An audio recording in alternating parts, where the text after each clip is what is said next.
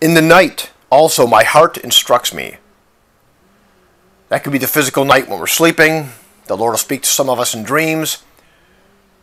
It can also be in the dark times when things aren't going the way we want.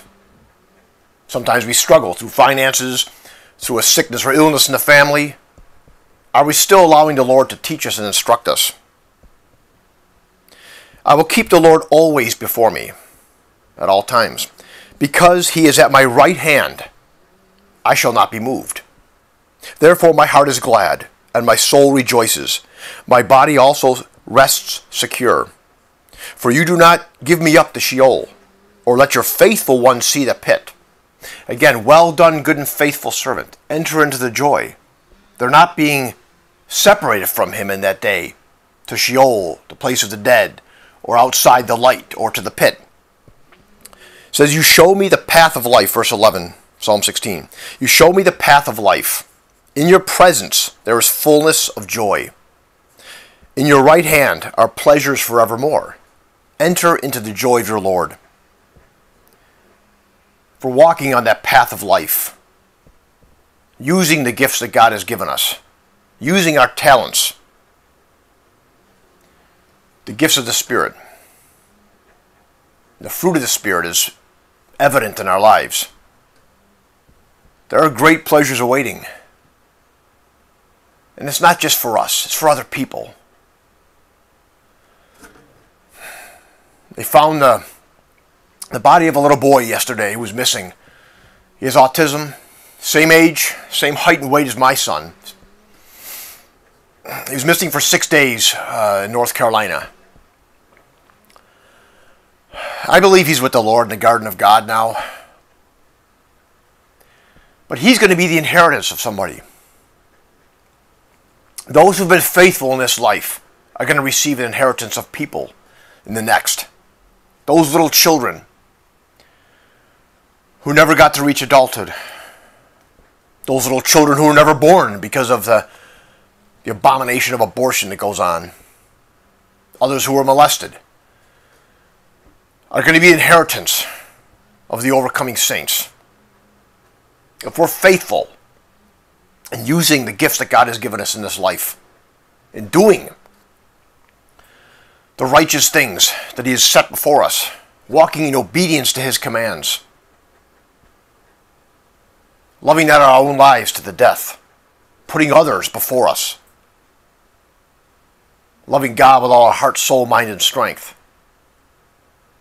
we're going to receive an inheritance.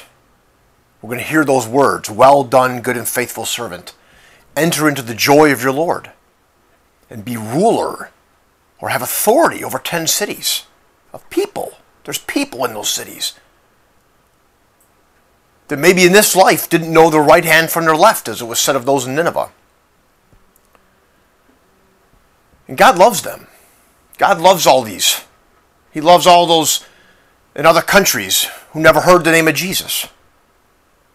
He loves those who are, dare I say, who he loves those who are in the church who never met the real Jesus. Because we've erected our own ideas of who Jesus is and who God is. They're going to be the inheritance of the saints those who are co heirs with Christ, when he receives the kingdom, when he receives, what does it say in Psalm 2? This is for us as well. This is spoken to the Lord in prophecy, but this is for his saints as well. I don't want to misquote it, so let's go to Psalm 2 real quick here. Praise your name, Lord.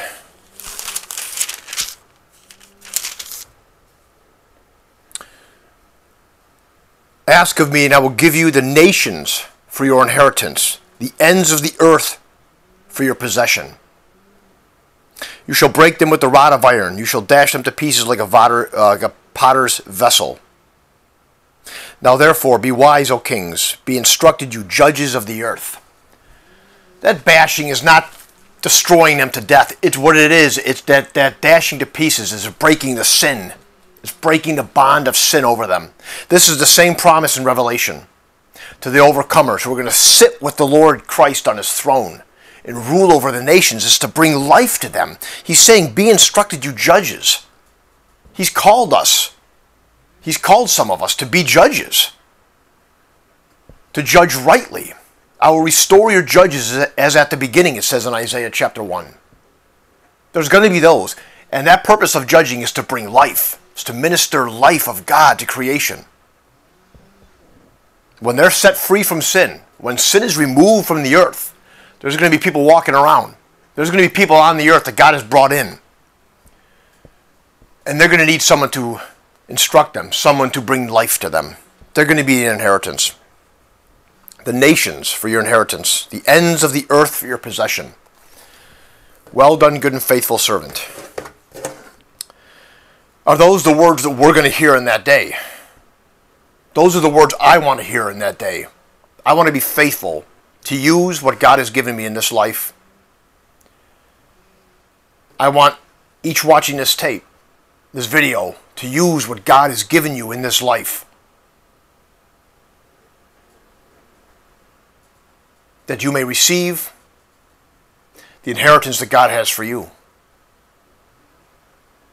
To bring love and hope and joy to people in eternity.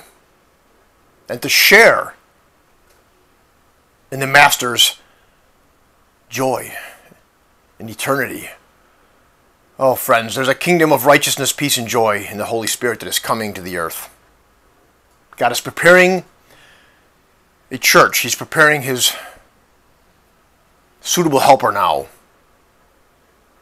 And if we feel that call upon our lives, and I know I do, I know many others who do, let us be faithful in the things He's given us.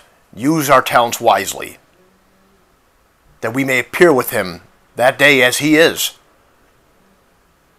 having received a glorified body upon these physical frames that he'll raise up in that day.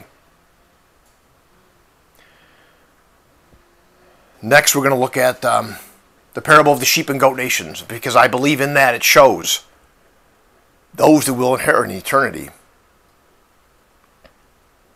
Praise your name, Lord. Thank you for your word. Bless each one, Lord. Amen.